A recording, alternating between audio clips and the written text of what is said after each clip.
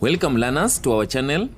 In this video, we are going to have a full revision guide for Targeter Pre-Mock Integrated Science Grade 9 exam and we will go over all the key topics like adolescence and the changes it brings, the STIs that is the sexually transmitted diseases, diffusion, osmosis, soft and hard water, alloys, magnetism, electric current and pressure.